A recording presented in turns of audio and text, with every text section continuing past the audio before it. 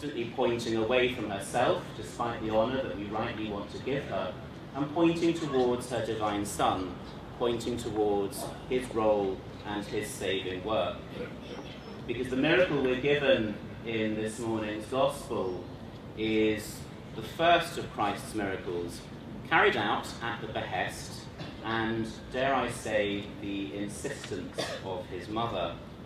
It begins and opens up Christ's ministry, a ministry of teaching and healing, which would culminate in his death and resurrection, also revealing of healing and teaching. Healing a wounded humanity through what he did on the cross, offering himself up for the sins of mankind, and teaching in the sense that it reveals to us something of the love of God in our lives, which will take a lifetime to understand.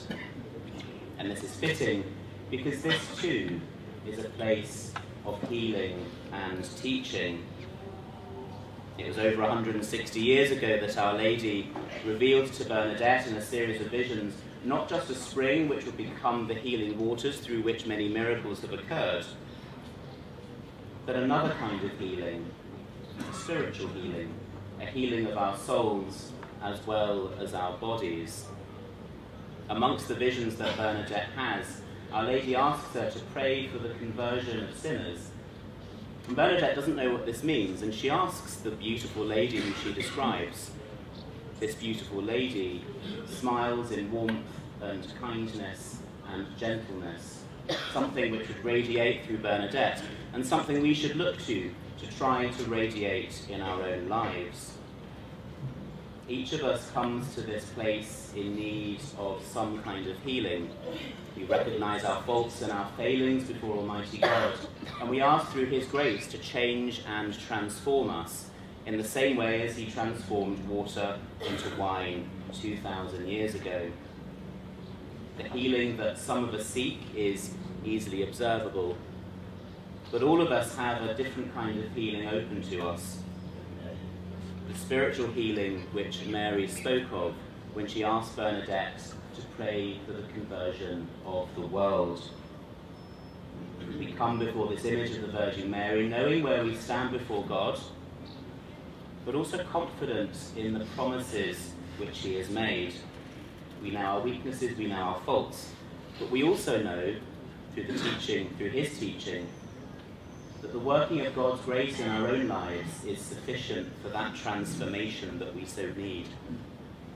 In pointing the servants at the wedding to her son, Our Lady was encouraging them to trust in what she wanted, in what he would do. To us today as well, Our Lady urges us only to trust in what Christ can and wants to do in our lives. For our hearts in these days, we only need be open to what Christ wants to do, to reveal his love for us in a deeper way and in a clearer way, show us how to live as his followers. In transforming water into wine at the wedding feast, Christ took something very ordinary and changed it, and in doing so brought about a greater joy to those that he came into contact with that day, and probably sparing them a great deal of embarrassment.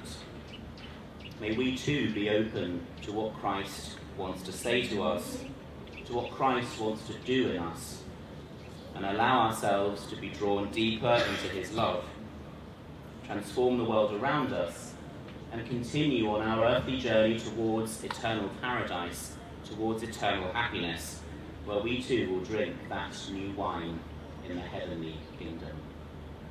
In the name of the Father, and of the Son, and of the Holy Spirit. Amen.